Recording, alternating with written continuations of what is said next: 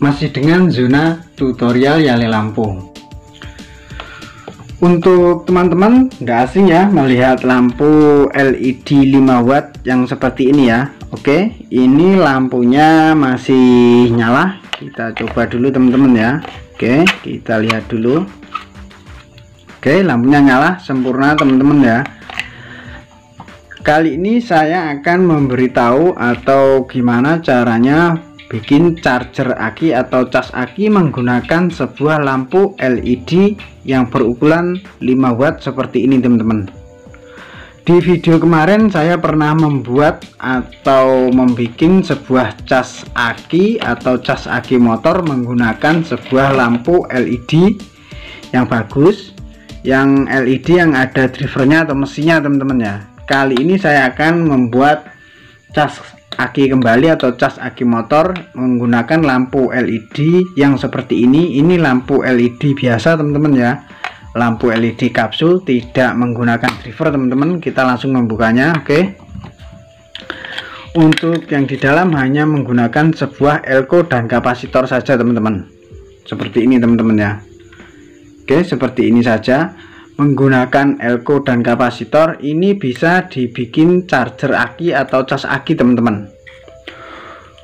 Dan alatnya sangat sederhana sekali atau sangat sepele sekali teman-teman ya. Teman-teman hanya mempersiapkan sebuah kabel seperti biasa seperti ini teman-teman ya.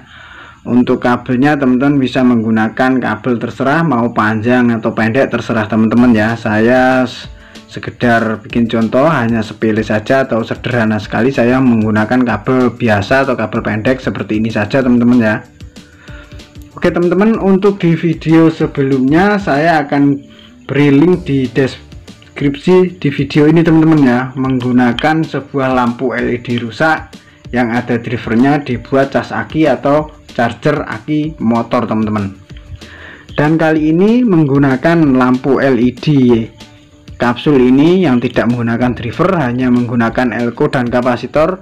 Saya akan memberitahu gimana caranya membuat charger aki teman-teman. Oke teman-teman ya. Kemarin atau di video sebelumnya saya pernah membuat charger aki untuk kabel kabel untuk charger aki langsung teman-teman ya. Teman-teman hanya disambung pada bagian inputnya di PCB mesin teman-teman. Teman-teman bisa langsung menyambungnya seperti ini tapi kalau lampu seperti ini lampu led kapsul yang menggunakan kapasitor dan elko seperti ini teman-teman hanya bisa hanya menyambung di bagian elko saja teman-teman. Di sini teman-teman. Oke untuk bagian positif sebentar teman-teman ya. Sebentar. Untuk bagian positif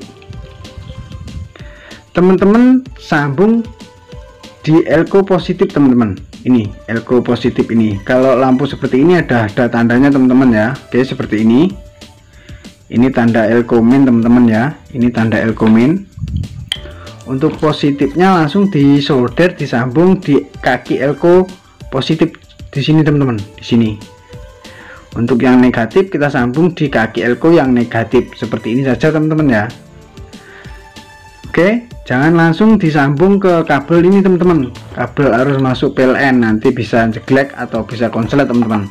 Oke kita bisa langsung menyambungnya teman-teman ya. Di sini teman-teman ya. Jangan sampai kebalik kita sambung dulu atau kita solder dulu teman-teman.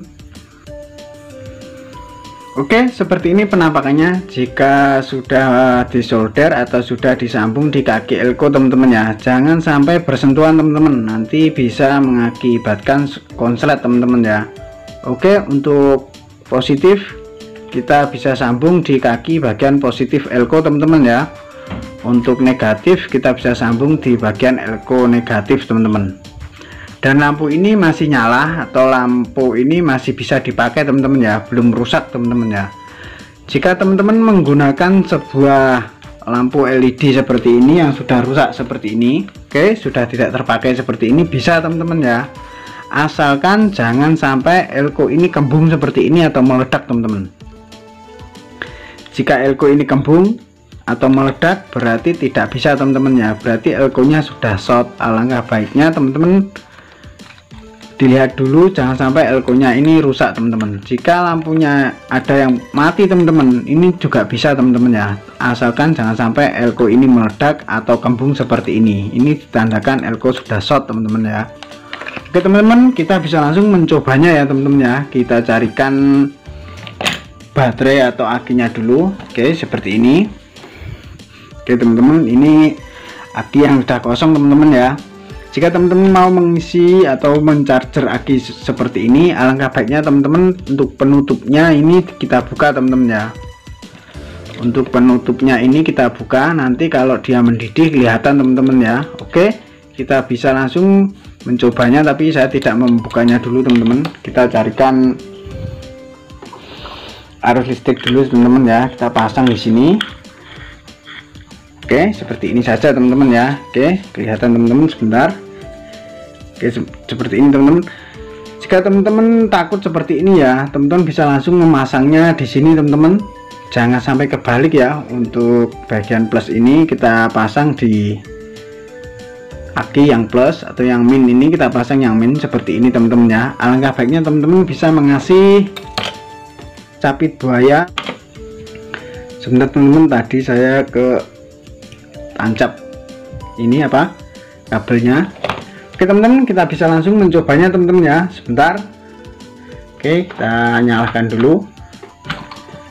Nah lampunya ada nyala teman-teman ya. Kita coba langsung sebentar sini kelihatan teman-teman ya seperti ini. Sebentar teman-teman Ya, jika lampunya mati seperti ini teman-teman, sebentar. Jika lampunya mati seperti ini, oke, ini nyala. Jika lampunya mati seperti ini ditandakan akinya sudah mengecas teman-teman oke jika keadaan lampu mati sebentar. Lah ini, ini kalau gak dikasih sabit buaya susah teman-teman ya. Sebentar nah jika lampunya mati seperti ini ditandakan mengecas teman-teman ya. Dia sudah mengisi. Nah sangat mudah sekali teman-teman ya. Bikin charger aki menggunakan lampu led yang berukuran 5 watt atau lampu led abal-abal atau lampu led kapsul teman-teman. Oke kita matikan dulu atau kita lepas dulu teman-teman. Sebentar nah seperti ini saja teman-teman ya. Jika teman-teman menggunakan sebuah lampu yang ada di drivernya itu sangat baik sekali teman-teman ya. Tapi jika teman-teman mempunyai lampu seperti ini ini juga sangat bisa digunakan charger apa charger aki seperti ini teman-teman. Oke teman-teman ya. Sangat mudah sekali cara membuat cas aki menggunakan sebuah lampu LED abal-abal atau lampu LED kapsul seperti ini. Oke teman-teman sangat mudah sekali. Oke teman-teman selamat mencoba dan semoga sukses. Sampai jumpa di video berikutnya kembali